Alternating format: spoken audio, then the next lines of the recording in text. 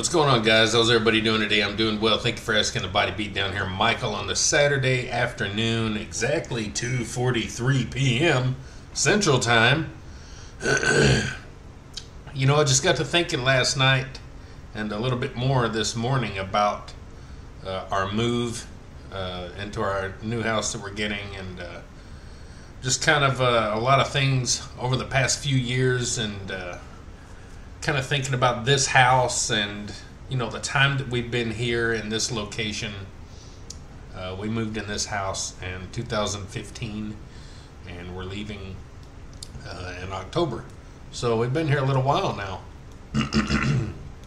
so a lot of good, a lot of bad, a lot of things that happen. I'm just kind of reflecting on things and. Uh, you know, you you kind of do that sometimes. You reflect on things. So uh, I got a little list here, some stuff wrote down uh, that I just thought I'd go over and and really, what's the reason for this video? Well, maybe maybe just to uh, kind of be thankful for some of the things that have happened, and uh, kind of to also think about uh, some of the bad things, the not so great things that have happened, and uh, some of the things to never forget, and some to learn, and uh, some to grow on. So, just kind of a little different video from my channel, but I think it kind of touches on health as far as just uh, mental awareness, mental, you know, mental being, maybe we could say. Um, so let's just call it that. Uh, I got the positive things wrote down first, but I think I'm going to do the not so positive things first, just to get them out of the way. Because I don't want to be too negative about things today. I want to end things on kind of a positive note. So let's try to do that. And these are just some things random that came to my mind. So, uh, the not so positive things over the last almost 10 years. Uh, uh, you know, since we've been in this house. Um, my mom died March 2016. That sucked. Uh, she struggled for a lot of years. Her mom died. My wonderful, amazing grandma uh, died in 2003. Plus, my mom lost her job of 30 years in a factory. Uh, they shut down and moved Emerson Electric. Uh, that all happened within a month of one another. In 2000, in, uh, 2000 I can't speak, in 2003. And uh, she was never the same after that. It was rough, and she just went downhill really quick. Now, she lived a decent, long life, I guess. She was 72 when she died. So, uh, anyway, it's just, uh, it's kind of one of those things I reflect on and I think back, and, uh, you know, number one, I wish I'd have been there more for my mom. Uh, sometimes we kids have a uh, have a tendency of not wanting to help out and do things maybe like we should. And uh, if I could go back in time, it would be to be there for my mom 110% because she was always there for us kids and all the grandkids and her mom and everybody. She was an amazing woman, and I wish I would have put more time and effort into her uh, into her life and everything uh, when her mom died. So uh, and up until she died. So uh, it's kind of a not so positive thing on a couple of notes there.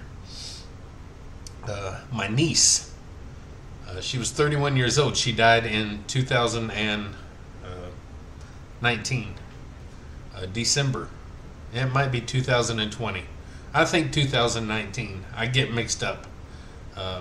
But she died on December 19th, I believe. So, anyway, my niece, uh, she died at 31 years old. Supposedly had a seizure or something in the tub taking a bath, and uh, and uh, they found her dead. So uh, she wasn't just a niece that was long distance, a niece that you seen once every 10 years. She was a niece we were around continuously. Uh, special, amazing, wonderful crazy, positive young lady, and she was from the time she was born until she died. Um, she had Turner syndrome, which, if you look it up, you can see there's different things that go on with uh, people that are born with Turner syndrome. Uh, she struggled her whole life with different surgeries and different things, and you know what have you. But she was the most positive, amazing uh, person you'd ever met, ever. So uh, losing her in 2019 was a real big hit, and uh, sorely missed. Wonderful, amazing person. My brother-in-law died uh, last year, 2022. Uh, that was my niece's dad. So my sister lost a daughter and her husband all within that time frame. he found out he had cancer in early 2022, lived just uh, a few months, and then ended up dying on uh, September 11th, uh, 2022. Amazing, wonderful, fun guy, uh, always energetic and telling the dumbest jokes and the dumbest stories. He never could finish them, and he would just end up laughing and messing everything up and just couldn't tell a story for nothing. Uh, he wasn't just a brother-in-law again like my niece. He wasn't just a brother-in-law that I seen once a year, or once every ten years. It was all the time. I mean, I grew up with him. Uh, I've known him since the '80s. I was a little kid when I met him. Uh, when he got with my sister. wonderful, wonderful person. Just you know, just like his daughter. And uh, so, anyway, uh, he is sorely missed. He was a really great guy. And uh, so that's just another hit in our family. Um, another thing, my wife got epilepsy out of nowhere, and I've lost track of time. She got it probably 2017, 18. I done lost track of the uh, the years at this point, but uh, she just got it out of nowhere. She was at work one day, and it hit her. So uh, it's something to do with the part of her brain in the front. Maybe I can't remember what it, where it's at, but and uh, just out of nowhere, she's got epilepsy. So it's been a very weird, surprising struggle that we weren't really prepared for. But you know, we get through it. She goes to work. She still works all the time, and she's one of those that won't be really held down by much of anything. So um, yeah, anyway, so just one more thing. Another thing, my son, my oldest son, got diabetes over these past few years since we've been in this house. And uh, that was another shock. uh, my dad had diabetes. He died at 54 years old uh, back in 1997. Uh, he didn't take care of himself, and unfortunately, my oldest son doesn't either. Now, he's kind of had a turnaround, sort of, kind of. He tries to take care of himself. He still eats garbage, but he at least takes medicine and he's trying to do something. So, big shocker. When he first got it, it was just kind of pre diabetes. He could have turned his life around, but he didn't. And uh, so many people do not whenever they get diagnosed with diabetes. A lot of people just, they don't understand that you don't mess around with diabetes or cancer. You're done. If you mess around, you're done.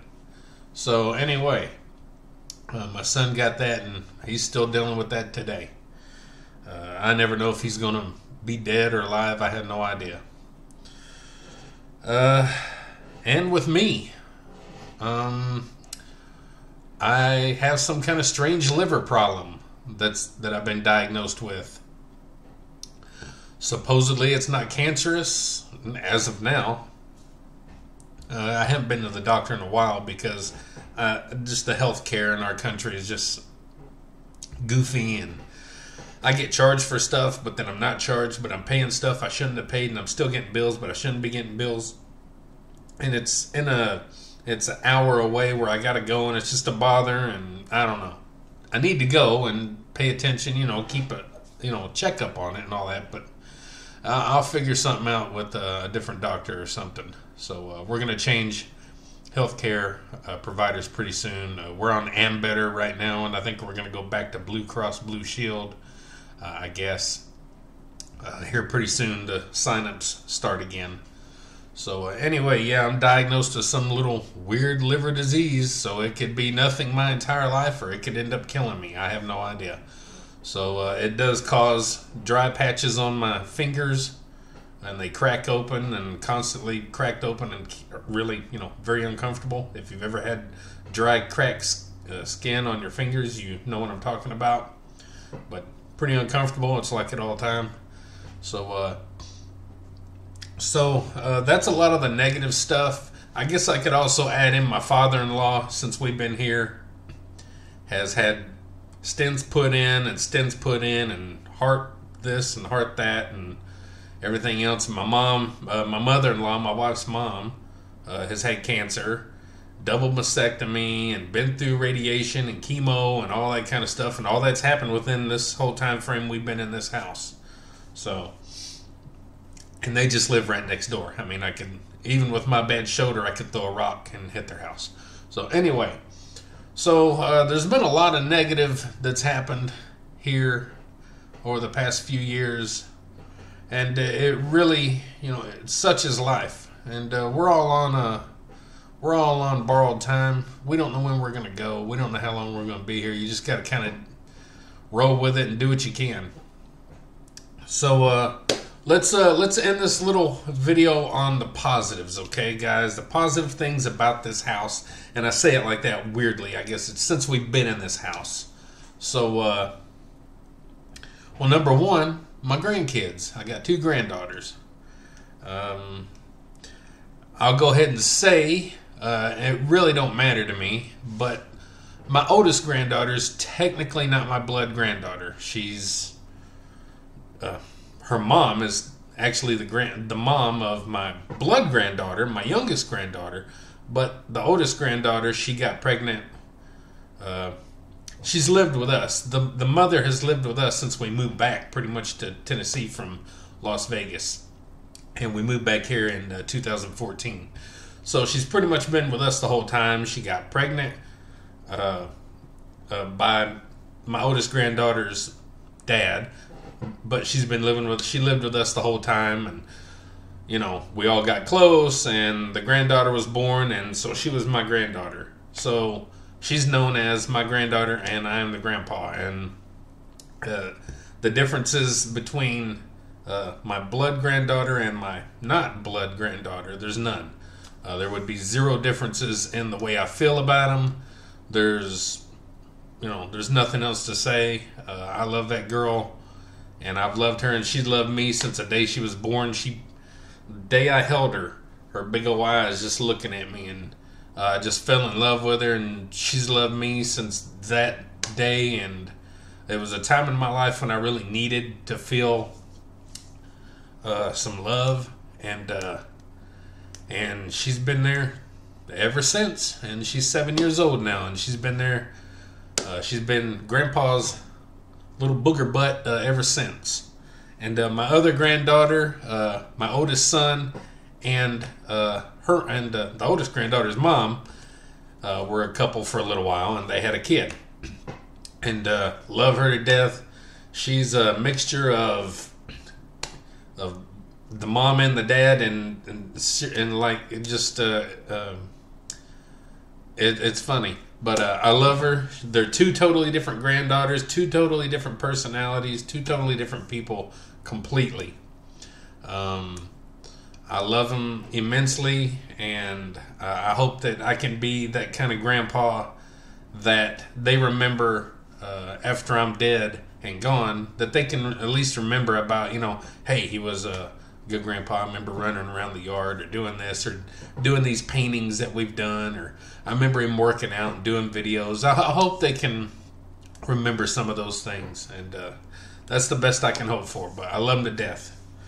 Um, now I got wrote down. I started my YouTube channel. Technically, I started my YouTube channel back in like 2006, Mikieson, uh, which is now named Mikieson TV.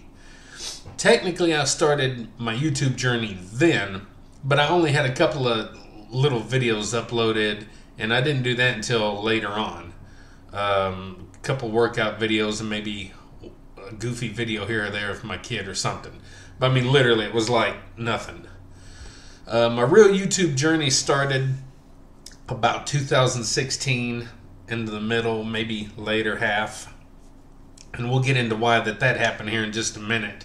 But uh, let's just talk about uh, that for a second, but my YouTube journey really uh, started about that time, and now we'll lead over into another thing. I started cycling, which is something I wanted to do for a million years. Not a million years, but close. I'm not quite a million years old, but uh, I started cycling in 2016. And so at that point, I started doing videos. I started mostly going and uploading and doing stuff on, on Facebook and maybe doing some live stuff on Facebook while I'm riding. However, I did that, I don't even know. But I started doing uploads and kind of doing stuff for YouTube somewhere around in 2016 during my cycling journey. And it all kind of uh, went from there on Mikieson TV. And Mikieson TV blew up to be you know, a conglomeration of all kind of different videos and uh, categories and stuff, which you can go check out if you want. Mikieson TV, M I K I E S O N TV. It's all one word. Uh, you're going to go in there and notice, though, that you're going to see all my body beatdown videos present because I upload all these videos over to there. So, anyway, but you can go check out the playlist and find all kind of crazy cool stuff. Um, so, kind of all this stuff kind of uh, correlates or coincides or mixes together, whatever the word is we're, we're looking for here. Uh, but my cycling took over and I was able to. I got a bicycle in 2016, February 11th, 2016. I started cycling, and then a few months later, I got another bicycle. So I had two different kind of bicycles that I could ride, and then I got another bicycle like a year later, uh, off-road bike where I could do some trail riding and stuff. And I had three bikes, and and everything was booming and crazy. And I, you know, it was a great journey. And I've I've did a hundred mile ride in one day. That was a big thing. That's called a century, uh, hundred miles. So I've done a hundred mile ride, and I've rode twenties and thirties and fifty miles a day, and I've rode twenty miles. I've rode a lot of rides, a lot of riding in that five and a half year period that I rode. So, uh, so all this kind of coincides with the YouTube stuff. Um, so I, now let's go ahead and just jump up to I started working out again.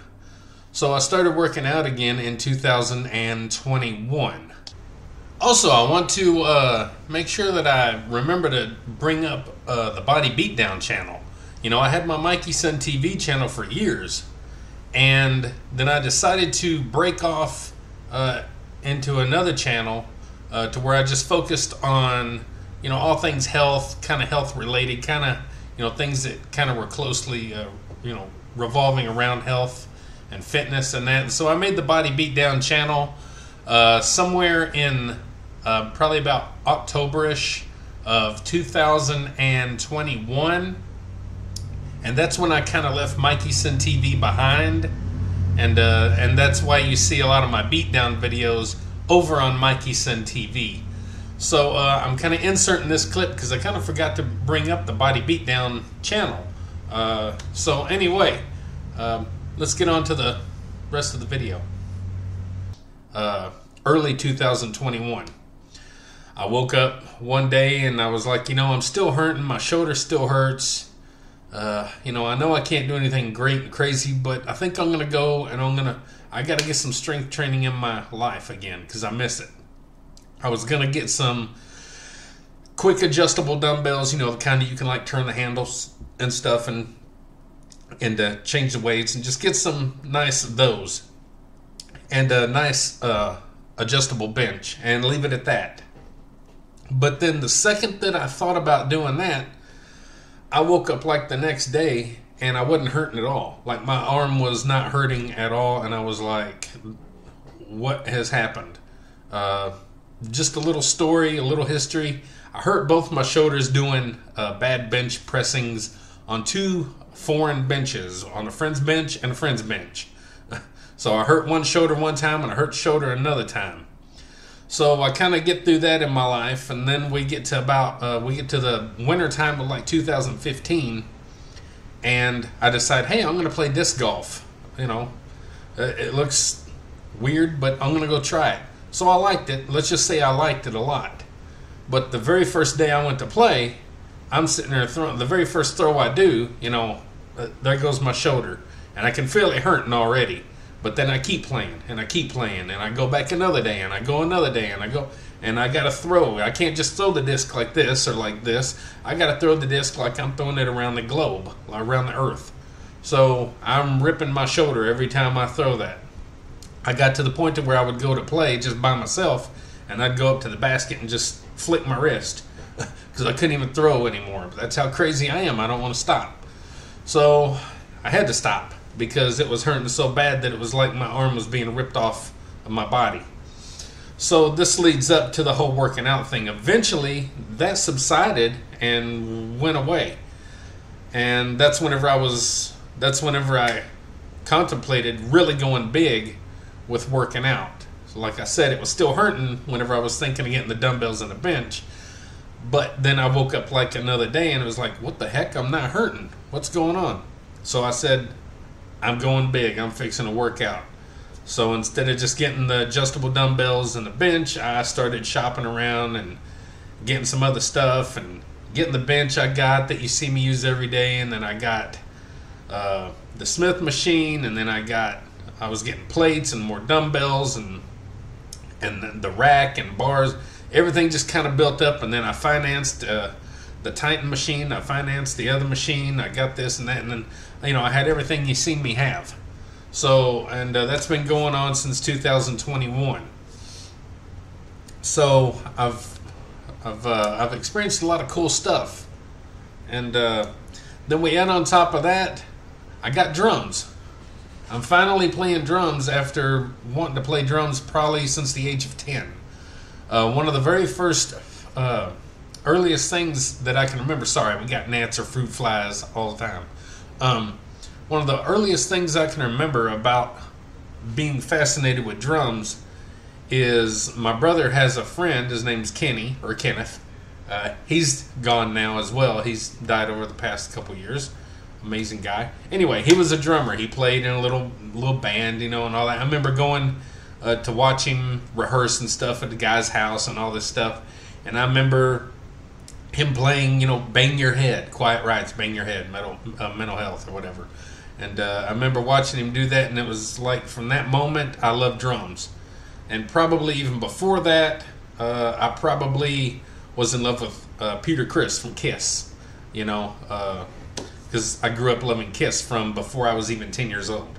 So uh, that kind of planted the seed in my head for drums. And then, you know, after 40 years of beating on desks and steering wheels and beatboxing, you know, all that stuff, and, and, and just constantly wanting to play drums, I finally got me some drums a couple months ago. So June 7th, actually, of 2000, uh, 2023. Uh, June 7th is whenever I got my drums. And since then, I've gotten more cymbals and hi hats and other stuff, and it's a very expensive hobby, passion, love. Uh, so, anyway, uh, so I, I, got my drums, and I'm going to keep building up the cymbal arsenal until I find what I want. Uh, I'm not good. I just beat on the drums and try to enjoy myself, and that's all I wanted from the day I got them. I wasn't trying to be good. I just wanted to enjoy, you know, just wanted to play along to some music, and uh, that's what I do. Um, also, since we've been here, I started walking. Um, I cut out doing a lot. Of, I cut out doing my cycling at one point because I was walking, cycling, and working out. And working out was taking an hour or so. My walks take a good 35 minutes, and going for bike rides was either an hour to like an hour and a half just for standard basic rides. So that's a lot of time, five, six, seven days a week uh, that you're putting in to that kind of stuff. So eventually I quit cycling and I went to spinning, which is why you see this bike right here. Where's my finger right there? Anyway, that's why you see that bike right there. So I got this a couple years ago and I use it every day. Uh, I haven't missed. I do this 30 minutes a day, so that cuts it down. And plus, you know, making sure you know you got to have, you got to pay attention to the weather and all that kind of stuff. And so this allows me to do that every day. So I'm spending 30 minutes every day. I walk 35 minutes every day, and then I work out. My workouts range, any you know, it can be an hour long or so, if not longer. It just depends. And here lately, it's been a little bit quicker because I'm trying to get through with stuff because you know the move, we're doing all kind of stuff. So just kind of you know pulling back a little bit from some of the working out, uh, the length of my workouts. So anyway, I know we're going into a long video here. We got 24 minutes on the clock, but hey, what are we doing? Um, so uh, I don't know if I've missed anything, any of the important stuff, but I quit. I quit cycling after five and a half years. I, inst- you know, I got this uh, instantly. I was using my bicycle and a bike trainer, if you know what those are. It's where you lock the back wheel into the little machine spinny thing. I was doing that, and then I said, ah, I want to get a bike, uh, exercise bike. So I found this, which I got for a really good deal for seventy five dollars. These things usually go for hundreds of dollars, but it's I got a really good deal on that. So uh, that's another positivity in my life. You know, I started doing that again. Uh, I, I, also I don't have that wrote down on here, but also I'm, you know, not that I ever really quit, but I am playing more video games a little bit more. I'm um, enjoying myself. I got a new computer a couple years back in 2020, and uh, play some video games on that. But I also have an Xbox Series S that my youngest son bought me for Christmas uh, last year. Little gnat, I'm gonna suck you down in my throat, and I don't even care. I don't even care. Um, anyway, so uh, we got some good positive stuff, guys, going on in the house. We do have some negative stuff, but there's positives. There's always some positives to go along with things. So I got my walks, my spins, my working out, my drums, YouTube journey, my grandkids, all this kind of cool stuff. And also, we've had a lot of good family times here. Uh, we don't just have our normal, like, immediate, immediate family, you know, wife, kids, grandkids, etc. But we have, like, all my, you know, my sisters and my brother in laws and my brother if he comes into town. Or, and my wife's side of the family sometimes comes over and we have, like, family time, you know, where we'll cook out and we have, like, the holidays here. We'll have a. Uh, one or two days a year that we really go all out and cook out and have a good time. We play cornhole and we got music playing and all kind of good stuff. So uh, we've had a lot of a lot of nice little family times here, and uh, a lot of there's been a lot of good memories. There's bad memories and there's good memories, but you're gonna have that no matter where you're at. So uh, that's just unfortunate that you got to have the bad with the good, unfortunately. But uh, that's really all I've got wrote down here. But uh, I guess another good thing I can say is, as of right this second, unless I fall over dead, uh, I'm still alive. I'm still kicking. I'm still working out. Uh, you know, uh, we're on this new adventure uh, with the new house that we bought. Not a good idea. It was an idea. You got to live with it. You either have this that you can do, or you have this that you can do, or that that you can do, and you kind of pick what you're gonna do. And sometimes it's sometimes it's 100% good, sometimes it ain't. So anyway, it's just kind of advent- another adventure we're going on. We're literally going to be moving less than two miles away from this house. It's just right down the road on a road that I do my bike ride on, that I was doing my bike ride on like literally every day. it's just right down the road. So uh, it's kind of funny. Uh, it's not a better house than this one. It's just a little bit more updated house than this one. Uh, it's not a bigger house than this one. It's not going to have all the room that I need. Uh, it don't even have a good place for me to park my bus, so I'm having to get that done. Uh, but it's an adventure we're going on, and it's just you know, it's uh, you know, more memories, good and bad, are going to be had there, and I hope that I live long enough to uh, be a part of it. And uh, so, anyway, guys, just kind of a little journey uh, that I wanted to kind of take you guys on.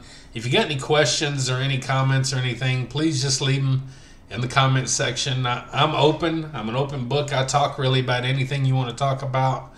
Uh, so you can ask me any kind of questions. I'm good with anything. Uh, the same thing goes for you. If you have anything you want to talk about yourself from your own personal life and experience, leave it in the comments section. Uh, you know, I like talking about stuff. I know a lot of people are real private about stuff. I'm not private about things. I'll talk about whatever. So not everybody's that way. But uh, Anyway, guys, I appreciate your time. I hope you have a good day, good good weekend if you get it. And uh, like, share, subscribe, comment, all that good stuff to the Body Beatdown. That's me, Michael, your long winded host at almost 30 minutes now. And uh, don't forget, please,